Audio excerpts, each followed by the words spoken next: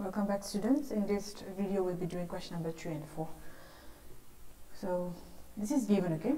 We are up, uh, asked to obtain all the zeros of mm, this given equation if two of its zeros are root over 5 by 3 and minus 5 by 3.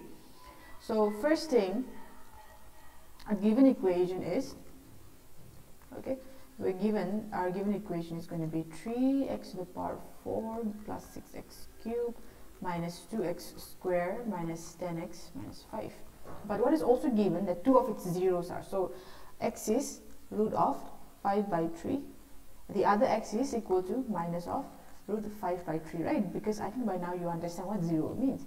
So therefore what I'll do here is I'll write this as x to the power 5 by 3 equal to 0 and x plus root 5 by 3 equal to 0 okay and I'll write this as my equation 1 and equation number 2 therefore when you multiply equation 1 and 2 we shall get this x minus root 5 by 3 into x plus root 5 by 3 equal to 0. So when you multiply that, you carefully look at this. Is this not in the form of a minus b, a plus b? So a minus b, a plus b is the form a square minus b square. Okay. If you do not remember this, you just multiply both. Okay. x into x plus 3, uh, x plus root 5 minus 3 minus root 5 by 3 into x plus 3. But I'll go with this. Okay. So a square minus b square. So I can write this as x square minus root 5 by 3 the whole thing square okay equal to 0 so this becomes x squared minus 5 by 3 okay. Now let me take the LCM for this. So this will become 3x squared minus 5 by 3 equal to 0 and this is 3x squared minus 5 equal to 0 okay because 3 will go to this other side. So now our zeros okay this is still correct. This is this is a polynomial okay? This is our polynomial uh, this is the polynomial because as a result of which we, we got our zeros as 5 by 3 and minus 5 by 3. So this is a factor of, this is again one of the factor of 3x to the power 4 plus the given equation, okay. Therefore, what we can do, okay, remember what, what we can do if suppose 3x squared minus 5 minus 5 is a factor of this given equation, then we can always divide 3, okay, 3x4 plus, it's a repetition again, but it's we can always divide this given equation with, we can divide with by, uh, by x, 3x square minus 5 okay because the question is we're asked to obtain all the zeros right? 3x square minus 5 we can divide this okay? Because 3x square minus 5 is a factor of this. And how do we do? We, we have followed this procedure. It's given that the zeros are 5 by 3 and minus 5 by 3 one more question is uh, one more I forgot thing uh, something that is very important is what is the what is the degree of this polynomial? It's to the power 4 right? That means this given polynomial or you can just say this given equation will have how many zeros? Four zeros. Alright. So if it's the equation is like this, then this given variable, what, what's the degree of this polynomial? Is 2. That means 2 zeros. If it's 3 or like something, an equation like this, then it will have 3 zeros. Okay, with the highest degree that it, uh, the, the, highest degree of the given polynomial determines the zeros uh, that a given polynomial will also have. Clear? So here the power, the degree is 4, so that means there are going to be 4 zeros. We already know 2 zeros, we, are, we have to find the remaining 2 zeros, alright? So let us divide this, okay? Mm. So I'll just erase all of this. So we will divide, we got this as 3x square minus 5 and divide it with 3x to the power 4 plus 6x cubed minus 2x square minus 10 minus 5 okay? So let's just divide the screen. So what should you multiply 3x squared with in order to get 3 to the power 3x to the power 4 obviously x squared right?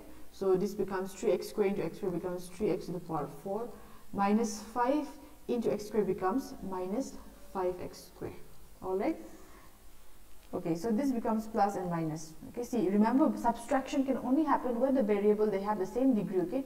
You cannot subtract 6 uh, plus 6x cubed minus uh, 3x to the power 4 okay the, the degrees are different so you cannot only if it's same okay here x to the power 4 x to the power 4 it's same you can do that okay so because of that i have adjusted here minus 5 uh, into x squared supposed to be written over here right in the actual sense but I have not written here because the power is different. This is x cubed and this is x squared alone. That's why.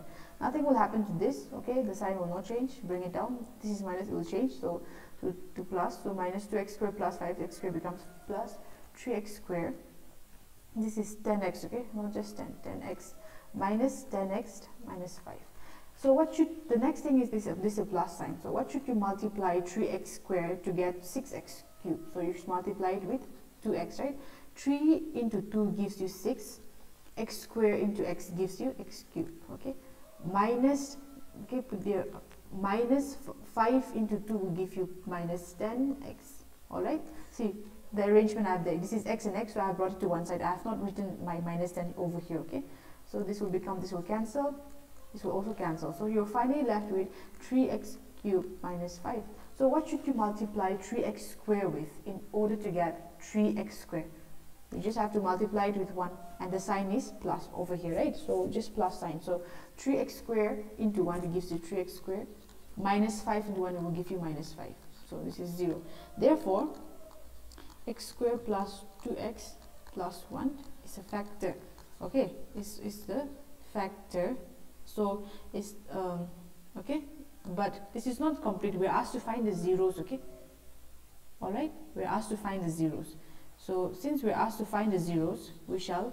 So now you can write this. x squared plus 2x plus 1. What equation is this? Is a quadratic polynomial. Yes? Polynomial. Remember what a quadratic polynomial is. Even if you don't remember the rest, please remember quadratic polynomial. Hence, we can use, we can use, uh, we can use splitting the middle terms okay splitting the middle terms okay but not necessary for this splitting the middle terms okay here in order to save time if you you just think about it instead of using the splitting the middle terms if you want you can always use it. But okay first we'll use it okay? So uh, splitting the middle terms what should you so the coefficient of x squared is 1 and the constant term is 1 so 1 into 1 gives you 1 right? So this number when you multiply okay when you add it you should get it as 2 and when you multiply these two numbers you should get it as 1 right? 1 because you have to multiply the coefficient of x squared with a constant term. So 1 into 1 gives you 1 so obviously the answer is going to be 1 yes? So you get this as 1 plus 1 of x plus 1 okay? So you just remove the bracket. So plus x plus x plus 1. You take the common terms over these two terms, so x is common, so you'll be left with x plus 1. Over here, x and between x and 1, there's no common term, so it's just going to be 1. So you finally have this as x plus 1 is common to both terms, okay? So I've taken x plus 1, x plus 1. So if I take out x plus 1 from here, I'll be left with x. And there's a plus sign over here. And since I've taken out x plus 1, 1 is common. Therefore, x plus 1 is equal to 0 or x plus 1 is equal to 0. So x will be equal to minus 1, x will be equal to minus 1. Therefore, the remaining zeros, okay, the remaining zeros are minus 1 and again minus 1. Alright? Okay. Over here, for this problem you don't necessarily have to use the splitting terms okay there's uh, because remember x squared plus 2x plus 1 is the same thing as x plus 1 the whole thing squared do you agree with me or not because what is a plus b the whole thing square formula it is a square plus b square plus 2ab right so let us focus on this okay so what is a square a in the case of this so it's going to be x square plus b square 1 square plus 2 what is your a x into b square so x squared plus 1 plus 2x. So that's the same formula as this, right? So you can directly write it as x plus 1 the whole thing. Okay, x plus 1 the whole thing square equal to 0. Okay, okay, never mind. So, alright, so you can always write it this way. So you can write x plus 1 into x plus 1 and that will be your factors. Okay, So you can just go with this, splitting the middle terms. So these are the two zeros, clear? So quickly let's go on to this question. Okay, so this is given on dividing this polynomial, the equation, the remainder where. Now, what, what should you remember from here? The dividend is, what is the dividend? x cubed minus 3x squared plus x plus 2. Okay, I'm just going to write this. The remainder is given. You just try to write down what is given, x minus 2 and the quotient, okay? Um, okay, sorry, okay, this is the quotient, not equation, okay? So quotient is actually x minus 2 and um, remainder is minus 2x plus 4 okay? We're asked to find g of x okay? So this is given okay? But what do we understand g of x? What do you understand? I have given you the formula right? In the first video if you have not gone what is dividend? It is nothing but quotient into divisor plus remainder this is given right? I have given you the first. So we'll be making use of this okay? So what is your dividend? It is x cubed minus 3x squared plus x plus 2 your quotient is x minus 2 divisor is not given so we will say we will take our divisor to be g of x okay? Because that is what the question is asking us. And the remainder is minus 2x plus 4 what I'll do is I'll take the remainder to the left hand side. So when that happens okay? This is a plus sign here so it becomes minus so minus 2x plus 4 so and you'll be left with x minus 2 of g of x. So remove the bracket. x cubed minus 3x squared plus x plus 2 minus into minus becomes plus 2x minus into plus becomes minus 4 equal to x minus 2 of g of x. Now make the necessary changes okay?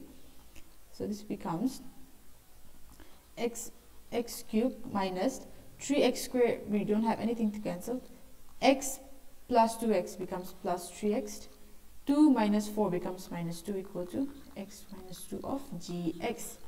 Therefore, you can write this as x cubed minus 3x squared, okay, plus 3x minus 2. Bring x minus 2 to the denominator and that is this is how we will find our g of x. Clear?